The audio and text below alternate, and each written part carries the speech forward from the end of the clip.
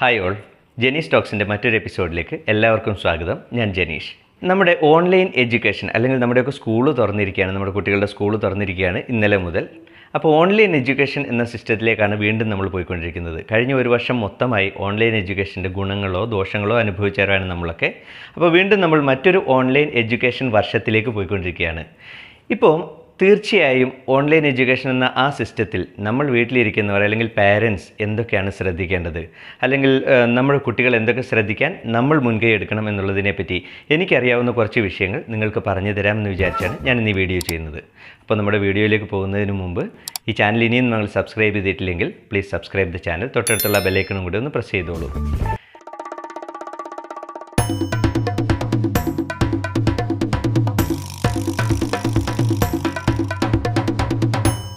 അപ്പോൾ ഞാൻ പറഞ്ഞു വന്നത് ഓൺലൈൻ എഡ്യൂക്കേഷനെ പറ്റിയാണ്. നിങ്ങൾക്കൊക്കെ അറിയാം കഴിഞ്ഞ വർഷം കേരളത്തിലുള്ള കുട്ടികൾ എനിക്ക് തോന്നുന്നത് ഏകദേശം ഒരു ഗവൺമെന്റ് സ്കൂളിൽ പഠിക്കുന്ന പകുതിയിലധികം കുട്ടികളും ടി വി ചാനലുകൾ വഴിയുള്ള ഒരു എഡ്യൂക്കേഷൻ സിസ്റ്റമായിരുന്നു ആശ്രയിച്ചുകൊണ്ടിരുന്നത്. എന്നാൽ ഇത്തവണ നമ്മുടെ നമ്മുടെ മുഖ്യമന്ത്രിയാണെങ്കിലും വിദ്യാഭ്യാസ മന്ത്രിയാണെങ്കിലും പറഞ്ഞിട്ടുണ്ട് വെറും ടി വിയിലൂടെ വരുന്ന ക്ലാസ്സുകൾ മാത്രമല്ലാതെ ഓരോ സ്കൂളുകളിൽ നിന്നും കുട്ടികൾക്ക് നേരിട്ടുള്ള ഓൺലൈൻ എഡ്യൂക്കേഷൻ കൂടി അറേഞ്ച് ചെയ്യാൻ ഘട്ടം ഘട്ടമായി ശ്രമിക്കുന്നതാണെന്നല്ലേ?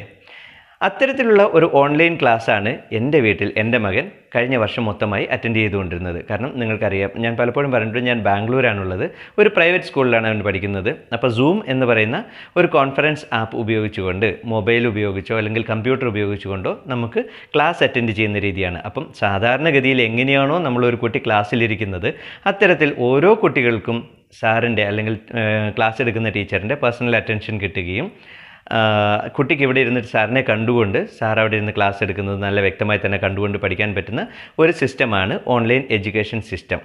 പക്ഷേ അതിലും ഒരുപാട് കുറവുകളോ അല്ലെങ്കിൽ ഒരുപാട് ബുദ്ധിമുട്ടുകളോ നമ്മൾ അനുഭവപ്പെടുന്നുണ്ട്.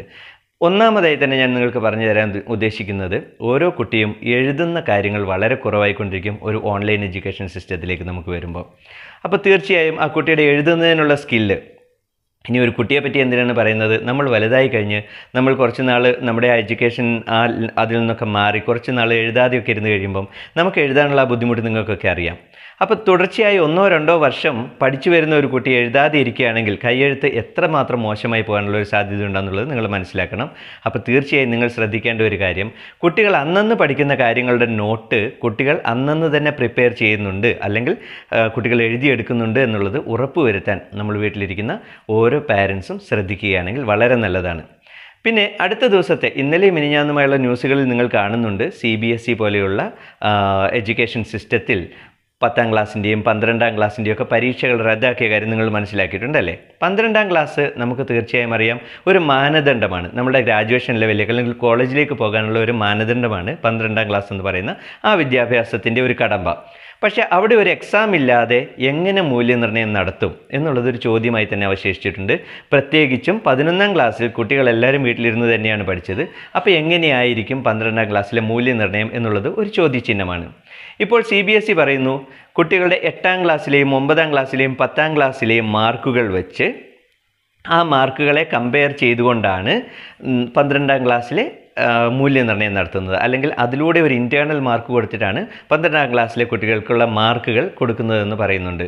അത്തരത്തിൽ കൊടുക്കുമ്പോൾ നമ്മളുടെ കുട്ടികൾക്ക് എന്താണ് അവർ പഠിച്ചത്? അത്തരത്തിൽ എട്ടിലും ഒമ്പതിലും പത്തിലും നന്നായി പഠിച്ച ഒരാൾ പതിനൊന്നിലും പന്ത്രണ്ടിലും ഒന്നും തന്നെ പഠിക്കാതെ അവർ ജയിച്ചു.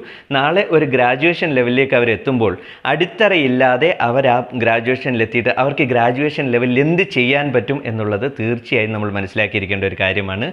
അതുകൊണ്ട് തന്നെ നമ്മൾ ഓൺലൈൻ എഡ്യൂക്കേഷൻ സിസ്റ്റത്തിൽ കുട്ടികൾ പഠിക്കുന്ന സമയത്ത് നമ്മൾ മാതാപിതാക്കൾ തീർച്ചയായും അവരെ ശ്രദ്ധിക്കേണ്ടതും അവർ നന്നായി പഠിക്കുന്നുണ്ട് എന്ന് ഉറപ്പുവരുത്തേണ്ടതുമാണ്. ഒരുപക്ഷെ കുട്ടി നാളത്തേക്ക് പ്രൊമോട്ടായി പോകുന്നത് മുൻപ് അവൻ പഠിച്ച മാർക്കുകൾ വെച്ചിട്ടായിരിക്കും. പക്ഷേ നാളെ നമുക്ക് ഒരു ഡിഗ്രിയിലേക്ക് പോകുമ്പോൾ അല്ലെങ്കിൽ ഗ്രാജുവേഷൻ പ്രോഗ്രാമിലേക്ക് പോകുമ്പോൾ നമ്മുടെ ആ, ബേസ് ലെവൽ അല്ലെങ്കിൽ നമ്മുടെ അടിത്തറ എന്നത് പ്ലസ് വണ്ണിലെയും പ്ലസ് ടുവിലെയും എഡ്യൂക്കേഷനാണ് അപ്പോൾ പ്ലസ് വണ്ണിലെയും പ്ലസ് ടുവിലെയും എഡ്യൂക്കേഷൻ അത് ഒരു ഒരു ഒരു ശക്തമായ അടിത്തറ ഇല്ലാതെയാണ് ആ കുട്ടി പഠിച്ചതെങ്കിൽ അല്ലെങ്കിൽ അത് നന്നായി പഠിച്ചിട്ടില്ലെങ്കിൽ നാളെ ഗ്രാജുവേഷനിലേക്ക് എത്തുമ്പം അവിടുത്തെ ആ എന്റയർലി ചേഞ്ച്ഡ് സിസ്റ്റത്തിലേക്ക് എത്തുമ്പം നമുക്ക് പഠിക്കാനുള്ള ബുദ്ധിമുട്ട് വളരെയധികം ഉണ്ടാകാം. ഇനി ഇതൊന്നുമല്ലാതെ മറ്റെന്താണ് ബുദ്ധിമുട്ടുകൾ നമ്മുടെ കുട്ടികളാണെങ്കിലും അല്ലെങ്കിൽ നമ്മുടെ പാരൻസ് ആണെങ്കിലും നേരിടുക എന്നുള്ളത്? എന്റെ അനുഭവത്തിൽ നിന്ന് ഞാൻ പറയാം. നമ്മൾ പലപ്പോഴും കുട്ടികൾക്ക് ഒരു കമ്പ്യൂട്ടർ വാങ്ങിച്ചു കൊടുക്കാം അല്ലെങ്കിൽ ഒരു ലാപ്ടോപ്പ് വാങ്ങിച്ചു കൊടുക്കാം. അവൻ നന്നായി പഠിക്കട്ടെ എന്ന് വിചാരിച്ചിട്ട്. അപ്പോൾ നിങ്ങൾക്കറിയാം ഇന്നത്തെ കുട്ടികൾ ഒരു പക്ഷേ നമ്മൾ പാരൻസിനേക്കാൾ വളരെയധികം ഡെവലപ്ഡ് ചിന്താഗതിയോട് കൂടിയവരായിരിക്കും അല്ലെങ്കിൽ ടെക്നോളജി നോളജ് ഉള്ളവരായിരിക്കും. അവരെന്താ ചെയ്യുകയെന്ന് ചോദിച്ചാൽ അവർ ആ വെബ് ക്യാമിലേക്ക് നേരെ നോക്കുമ്പോൾ അതായത് സ്ക്രീനിലേക്ക് നോക്കിയാൽ തീർച്ചയായും അവിടെ ഇരിക്കുന്ന സാറിനോ അല്ലെങ്കിൽ ടീച്ചറിനോ തോന്നുന്നത് അവർ വെബ് ക്യാമിലേക്ക് നോക്കുകയാണെന്നാണ്. പക്ഷേ സ്ക്രീനിനെ രണ്ടായി സ്പ്ലിറ്റ് ചെയ്ത് വെച്ച് ആ കുട്ടിയുടെ ഗെയിം കളിക്കാനുള്ളൊരു സാധ്യതയുണ്ട്. അല്ലേ? സത്യമല്ലേ അപ്പോൾ അത്തരത്തിൽ എടുക്കുന്ന ക്ലാസ് നമ്മൾ മനസ്സിലാക്കാതെ ഗെയിമിംഗ് അങ്ങനെയുള്ള കാര്യങ്ങൾ കുട്ടികൾ ഇൻവോൾവ് ആവുന്നു. സത്യമായും ഗെയിമിങ്ങിൽ ഒരു കുട്ടി ഇൻവോൾവ് ആവുന്നത് അത്ര വലിയ തെറ്റൊന്നുമല്ല. പക്ഷെ പഠിച്ചുകൊണ്ടിരിക്കുന്ന സമയത്ത് അല്ലെങ്കിൽ ക്ലാസ് നടന്നുകൊണ്ടിരിക്കുന്ന സമയത്ത് ഒരു ഗെയിമിൽ ഇൻവോൾവ് ചെയ്യുക എന്ന് പറഞ്ഞാൽ അവന്റെ ചിന്തകൾ അല്ലെങ്കിൽ അവന്റെ ആ ഫോക്കസ് ആ പഠിപ്പിക്കുന്ന കാര്യത്തിൽ നിന്ന് മാറിപ്പോകുന്നു. He is getting defocused അപ്പം അവൻ പഠിക്കാനുള്ള കഴിവ് കുറഞ്ഞുകൊണ്ടിരിക്കുകയാണെന്ന് നമുക്ക് മനസ്സിലാക്കണം. അതുകൊണ്ട് തന്നെ എപ്പോൾ ഒരു കുട്ടി ഓൺലൈനിൽ എഡ്യൂക്കേഷൻ സ്വീകരിക്കുന്നുവോ ഏഹ് അത് മൊബൈലാണെങ്കിലും കമ്പ്യൂട്ടർ ആണെങ്കിലും ലാപ്ടോപ്പ് ആണെങ്കിലും ഇനി ഒരു ടാബ്ലറ്റ് ആണെങ്കിലും നിങ്ങൾ പാരൻസിന്റെ ശ്രദ്ധ എപ്പോഴും കുട്ടിയുടെ സ്ക്രീനിൽ ഉണ്ടായിരിക്കണം എന്നുള്ളത് നിർബന്ധമാണ്. ഒരു സാധാരണഗതിയിൽ പറയുകയാണെങ്കിൽ ഇപ്പം അഞ്ചിലോ ആറിലോ ഏഴിലോ പഠിക്കുന്ന കുട്ടിയാണെങ്കിൽ അവർക്ക് ഒരുപക്ഷെ തോന്നുന്നത് നമുക്കൊരു ഗെയിം കളിക്കാമെന്നായിരിക്കും. അത്തരത്തിൽ നമ്മൾ നിങ്ങൾക്കറിയാം ഇന്റർനെറ്റിന്റെ സഹായത്തോടു കൂടി മാത്രമാണ് ഇന്ന് ഓൺലൈൻ ക്ലാസ്സുകൾ നടക്കുന്നത്. അപ്പോൾ തീർച്ചയായും ഒരു ഒരു ഒരു നല്ല ഇന്റർനെറ്റ് കണക്ഷൻ നിങ്ങളുടെ കുട്ടിയുടെ ആ ഡിവൈസിലേക്ക് ഉണ്ടാവും. അപ്പോൾ ഇന്റർനെറ്റിലൂടെ കുട്ടികളെ വഴിതെറ്റിക്കാൻ ഉതകുന്ന ഒരുപാട് കാര്യങ്ങൾ ഇന്ന് അവൈലബിൾ ആണ്. അപ്പം ഒരിക്കലും ഒരു പാരന്റിന്റെ ശ്രദ്ധ ഇല്ലാത്ത രീതിയിലാണ് കുട്ടി അവിടെ ഇരിക്കുന്നതെങ്കിൽ അത്തരത്തിൽ ഉള്ള വഴിതെറ്റിക്കുന്ന കാര്യങ്ങളിലേക്ക് കുട്ടികൾക്ക് ചെന്നെത്താനുള്ള സാഹചര്യം വളരെ കൂടുതലാണ്. കുറച്ച് നാളുകൾക്ക് മുമ്പ് നിങ്ങൾ കേട്ടിരുന്നു പലതരത്തിലുള്ള സൂയിസൈഡൽ ഗെയിമുകളെ പറ്റിയും അല്ലെങ്കിൽ പലതരത്തിലുള്ള റാക്കറ്റുകളെയൊക്കെ പറ്റി നിങ്ങൾ കേട്ടിട്ടുണ്ടാവും. അത്തരത്തിലുള്ള ഓരോ കണ്ണികളിലും ചെന്ന് പെടാനുള്ള സാധ്യത വളരെ കൂടുതലായതുകൊണ്ട് തീർച്ചയായും നിങ്ങളവരെ ശ്രദ്ധിക്കണമെന്നുള്ളതാണ് എനിക്ക് പറയാനുള്ള മറ്റൊരു കാര്യം. ഇനി അല്ലാതെ തന്നെ നമ്മളിപ്പോൾ പഠിക്കുന്നത് ടി വിയിലൂടെ ആയിരിക്കാം. അല്ലെങ്കിൽ നമ്മൾ പഠിക്കുന്നത് ഓൺലൈനിലൂടെ കമ്പ്യൂട്ടറിലൂടെയോ നെറ്റ് ഇന്റർനെറ്റിന്റെ സഹായത്തോടെയോ ആയിരിക്കാം. അത്തരത്തിൽ പഠിക്കുമ്പോൾ വീണ്ടും നമ്മൾക്കുണ്ടാകുന്ന ഒരു ബുദ്ധിമുട്ട്. അവിടുന്ന് സാറ് ക്ലാസ് എടുക്കുന്നു. ഇവിടെ നമ്മുടെ കുട്ടികൾ കേട്ടുകൊണ്ടിരിക്കുന്നു. കേട്ടുകൊണ്ടിരിക്കുന്ന കാര്യങ്ങൾ ഒരുപക്ഷെ കുട്ടിക്ക് മനസ്സിലാവുന്നുണ്ടാവും. ഒരുപക്ഷെ കുട്ടികൾക്ക് മനസ്സിലാവുന്നുണ്ടാവില്ല. രണ്ടാണെങ്കിലും അവരുടെ നോട്ട്ബുക്കുകളും അവരുടെ ടെക്സ്റ്റ് ബുക്കുകളും റെഗുലറായി ആ കുട്ടികൾ വായിച്ച് പഠിക്കുക എന്നുള്ളത് അത് സത്യത്തിൽ നിങ്ങൾ മാതാപിതാക്കളുടെ കൂടി ഒരു ഉത്തരവാദിത്തമാണ് ആ ടി വിയിലെ സെഷനിലാണെങ്കിലും ഞാൻ പലപ്പോഴും കണ്ടിട്ടുണ്ട് കൈറ്റ് വിറ്റേഴ്സ് ചാനലിൽ ഒരു ക്ലാസ് കഴിഞ്ഞിട്ട് അവരൊരു വർക്ക്ഷീറ്റ് കൊടുക്കും. നിങ്ങൾ കുട്ടികൾ ഈ വർക്ക്ഷീറ്റ് ഫില്ല് ചെയ്യണം. നിങ്ങളുടെ ടീച്ചറിന് ഇത് അയച്ചു കൊടുക്കണമെന്നാണ് സാധാരണഗതിയിൽ അവർ പറയാറ്. പക്ഷേ കുട്ടികൾ എന്താ ചെയ്യുക? Straight away they'll go to the YouTube അല്ലെങ്കിൽ യൂട്യൂബിലോ അത്തരത്തിലുള്ള മറ്റേതെങ്കിലും ഓൺലൈൻ മീഡിയകളിലോ പോകും ഒരുപാട് പേർ എന്നെ പോലെ ഒരുപാട് പേർ നമുക്ക് കിട്ടുന്ന ചാൻസ് അതായത് എന്റെ ചാനൽ ഒരുപാട് പേർ കാണാനുള്ള ആഗ്രഹം കൊണ്ടും അത്തരത്തിലൂടെ എനിക്ക് ധനസമ്പാദനം നടത്താമെന്നുള്ള ആഗ്രഹം കൊണ്ടും ഇത്തരത്തിലുള്ള സിമ്പിളായിട്ടുള്ള വർക്ക്ഷീറ്റുകളൊക്കെ നമ്മൾ ഫിൽ ചെയ്ത് യൂട്യൂബിൽ അപ്ലോഡ് ചെയ്യും. അപ്പോൾ തീർച്ചയായും ഞാൻ ഈ വർക്ക്ഷീറ്റ് ഫിൽ ചെയ്ത് യൂട്യൂബിൽ അപ്ലോഡ് ചെയ്യുമ്പോൾ എന്നെ സംബന്ധിച്ചിടത്തോളം ഒരു ആറിലോ ഏഴിലോ എട്ടിലോ അല്ലെങ്കിൽ പത്ത് വരെയുള്ള കുട്ടികളുടെ വർക്ക്ഷീറ്റ് ചെയ്യുക എന്നുള്ളത് ഒരു ഹിമാലയൻ ടാസ്ക് ഒന്നുമല്ല. കാരണം ഞാൻ ആ കടമ്പയൊക്കെ കടന്നു വന്നതുകൊണ്ട് എനിക്കത് ചെയ്യാൻ പറ്റും. ഞാനിത് ചെയ്ത് അപ്ലോഡ് ചെയ്യുന്നു. ഒരു കുട്ടി ഈ യൂട്യൂബോ അങ്ങനെയുള്ള മറ്റേതെങ്കിലും സോഷ്യൽ മീഡിയയിലോ വന്ന് അത് കോപ്പി ചെയ്ത് സാറിന് അയച്ചു കൊടുക്കുന്നു. അപ്പോൾ നിങ്ങൾ ചിന്തിക്കുന്ന ചിന്തിക്കേണ്ട കാര്യം നിങ്ങളുടെ കുട്ടിക്ക് അതിൽ നിന്ന് കിട്ടുന്ന ബെനഫിറ്റ് എന്താണ്?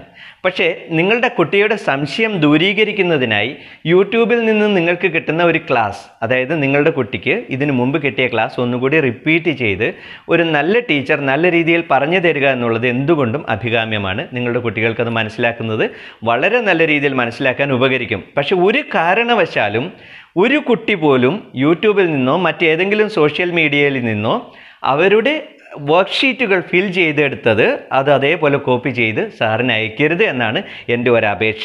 അതുപോലെ തന്നെ നിങ്ങൾ പാരൻസിനോട് എന്നതുപോലെ തന്നെ നിങ്ങൾ ടീച്ചേഴ്സിനോടും എന്റെ അപേക്ഷ അത് തന്നെയാണ്. യൂട്യൂബിലോ മറ്റേതെങ്കിലും സോഷ്യൽ മീഡിയയിലോ കോപ്പി ചെയ്ത് വരുന്ന അല്ലെങ്കിൽ ഒരു ആരെങ്കിലും ഒരു കണ്ടന്റ് ക്രിയേറ്റർ ഉണ്ടാക്കിയിടുന്ന ഇത്തരത്തിലുള്ള വർക്ക്ഷീറ്റുകൾ കോപ്പി ചെയ്ത് നിങ്ങൾക്ക് അയച്ചു തരുന്ന കുട്ടികളോട് നിങ്ങൾ തീർച്ചയായും പറയണം ഇത്തരത്തിലല്ല നിങ്ങൾ പഠിക്കേണ്ടത്. കാരണം കുട്ടികൾ പഠിച്ചിട്ടുണ്ടോ എന്നറിയാൻ വേണ്ടിയാണ് തീർച്ചയായും ഒരു ഒരു ഒരു ടീച്ചർ ശ്രമിക്കേണ്ടത്.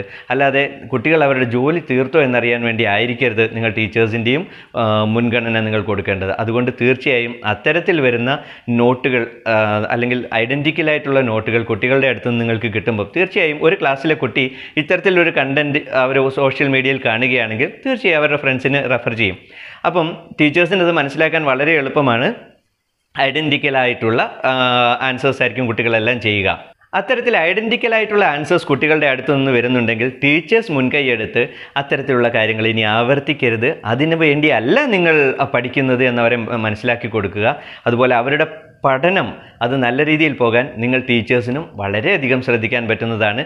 കാരണം നാളെ എന്താണ് നമ്മുടെ അവസ്ഥയെന്നറിയില്ല. ഇന്ന് നമ്മുടെ ഇന്ത്യയിൽ നിന്നുള്ള ആളുകൾക്ക് അല്ലെങ്കിൽ ഇന്ത്യയിൽ നിന്ന് എഡ്യൂക്കേഷൻ കഴിഞ്ഞ് പുറത്തു വരുന്ന ആളുകൾക്ക് ലോകത്തെമ്പാടുമുള്ള ഒരു വിലയുണ്ട്.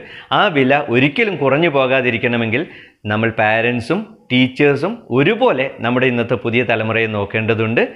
അത്തരത്തിൽ ഓൺലൈൻ എഡ്യൂക്കേഷൻ ഒരു തെറ്റായ കാര്യമല്ല. പക്ഷേ അതൊരു തെറ്റിലേക്കാവരുത് പോകുന്നത് എന്നാണ് എനിക്ക് നിങ്ങളോട് പറഞ്ഞു തരാനുള്ളത്. അപ്പം ഓൺലൈൻ എഡ്യൂക്കേഷന്റെ ഞാൻ ഈ പറഞ്ഞ കാര്യങ്ങളൊന്നും ചീത്തയല്ല. വീട്ടിലിരുന്ന് പഠിക്കാം. അപ്പോൾ പേരൻസിന്റെ ഡയറക്റ്റ് ശ്രദ്ധ കുട്ടികൾക്ക് കിട്ടുമെന്നുള്ളത് ഒരു പോസിറ്റീവാണ് പിന്നെ ഒരുപാട് എഡ്യൂക്കേറ്റഡ് ആയിട്ടുള്ള പാരൻസ് ഉണ്ടാവും നമ്മുടെ കൂട്ടത്തിൽ അപ്പം നമ്മുടെ ക്ലാസ്സിൽ നമ്മുടെ സ്കൂളിലെ നമ്മുടെ ക്ലാസ്സിൽ നമ്മുടെ ടീച്ചേഴ്സ് പഠിപ്പിക്കുന്നത് ഒരിക്കലും ഞാനൊന്നും പഠിക്കുന്ന സമയത്ത് എന്റെ അച്ഛനോ അമ്മയ്ക്കോ എന്റെ ടീച്ചേഴ്സ് എങ്ങനെയാണ് പഠിപ്പിച്ചു തരുന്നതെന്ന് മനസ്സിലാക്കാൻ ഒരു ചാൻസ് കിട്ടിയിട്ടില്ല. പക്ഷേ ഇന്നത്തെ പാരൻസിന് അതിനും കൂടിയുള്ളൊരു ചാൻസ് കിട്ടുകയാണ്. എങ്ങനെയാണ് എന്റെ കുട്ടി പഠിക്കുന്നത്? എങ്ങനെയാണ് എന്റെ എങ്ങനെയാണ് എന്റെ കുട്ടിയെ ടീച്ചർ പഠിപ്പിക്കുന്നതെന്ന് മനസ്സിലാക്കാനുള്ള ഒരു അവസരം പാരൻസിന് കിട്ടുകയാണ്. അപ്പോൾ അതെന്തുകൊണ്ടും നല്ലൊരു കാര്യം തന്നെയാണ്? അപ്പം കുട്ടികൾ പഠിക്കുന്നതിനോടൊപ്പം തന്നെ അവരുടെ മാനസികമായ ഉല്ലാസങ്ങൾ വളർന്നു വരേണ്ടതുണ്ട്. അപ്പോൾ ഇന്ന് അറിയാം കോവിഡ് സിറ്റുവേഷനാണ് കുട്ടികൾക്ക് പുറത്തു പോകാൻ പറ്റുന്നില്ല. അപ്പോൾ കുട്ടികളെ മാക്സിമം പഠിക്കുന്ന സമയത്ത് മാത്രം ഇലക്ട്രോണിക് എക്യുപ്മെന്റ്സ് ഉപയോഗിക്കാനും അതിനുശേഷം നല്ല നല്ല പുസ്തകങ്ങൾ എടുത്ത് വായിക്കുന്നതിനുള്ള അവസരം കൊടുക്കുക. അല്ലെങ്കിൽ എന്തെങ്കിലും ഇൻഡോർ ഗെയിംസ് ഔട്ട്ഡോർ ഗെയിംസ് നമുക്ക് വളരെ റെസ്ട്രിക്റ്റഡ് ആണിപ്പോൾ. അപ്പം പറ്റുന്ന രീതിയിലുള്ള ഇൻഡോർ ഗെയിംസ് നമ്മളൊരു ഗ്രാമപ്രദേശത്താണെങ്കിൽ മുറ്റത്തോട് ഓടിക്കളിക്കാനുള്ള അവസരം കൊടുക്കുക.